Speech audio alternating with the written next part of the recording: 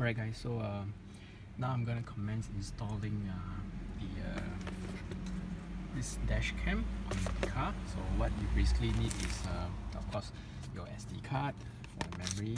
And uh, it supports up to a maximum of 64 GB so this is the max you can get. Not any bigger not any larger. If you get a 128 then that's it. And uh, what you need is um, a glass cleaner to remove any residue you have so that whatever when you stick the camera to the you know to the screen uh, it will remains uh, you know the adhesive will be maximum. And you need a cloth like this you know you can get this as a you know something like cloth you know those like you wipe off and then the dust will stick. Uh, you can get this very cheaply at Daiso about 5 bucks you get about 100 pieces. You need this. And you need a plus uh, newspaper to uh, finish off when you spray this so alright so let's commence installation. Alright guys so uh, I've clean this part where I'm going to stick the camera and uh, remember this transparent film? Uh, this is going to go here and then the uh, camera will go into onto this piece. So what I'm going to do is going to tear off the protective layer here and I'm just going to stick it right here. Right so uh, I'm not sure whether you guys can see this but uh, let me try to focus it okay so as you can see this is a, a static you know like those protectors it's actually static based uh, adhesive. So there's no glue so you can actually remove this thing uh, without damaging your tin or whatever not. So after sticking it so you just need to just clear it off. Just press off the bubble up. And you can see there's a dot here. This is where the camera will go. So just let me cleanse this before everything Alright guys as you can see I've already set it up. Um, see um, it's pulsating here. Oh let me let me just get it focused. Right so once you plug it in uh, it will be it's pulsating LED here. Uh, green will show uh, indicates recording blue will show that it has been set up properly.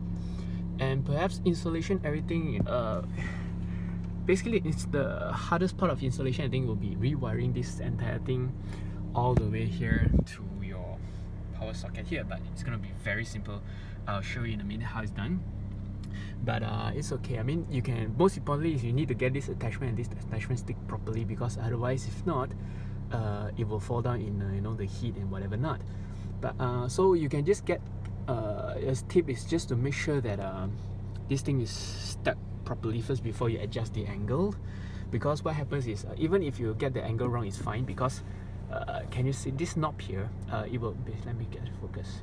This knob here will allow you to adjust the angle here. So you unlocked it so you can you can move this thing up and down and once you get a proper angle you just lock it back in and it will stick in place. So there's no worry about getting the angle wrong on your first try not an issue okay so the difficult most difficult part is that uh, some people don't like you know the wiring here. It goes straight to the power socket here. Then you have the line here. So it makes the entire thing very messy. So the wire the, the power supply wire is actually long enough for you to reroute through the entire thing concealing the wire and end up here. So what you're gonna do is this all car has it um, you know once you plug it in here this this is the you know power socket. So I plug it in here you just move it all the way up here and all cars uh, I'm not sure whether you can see. You know there's a gap here between the ceiling the actual roof and this inline set here. There's actually a small hole uh, uh, there's actually a small hole here uh, enough for you to push your wire in. So as you can see the wires I've rerouted the wire I've inserted the wire all the way in here. So what happens is that you know I just basically um, just push it in here here here here. And then when it comes to the angle here can you see this gap here? You just push it in and then you just shove the wire in. So if you can see here this plastic is uh, hard but this is soft. So you just basically to push it in you know it's pushable. So you just slide the wires in. And then after that you know you just slide all the way here. And then uh, yeah so you can see here I've stuck the wire here as well. So you just line it all the way here and uh, you know just go along the way.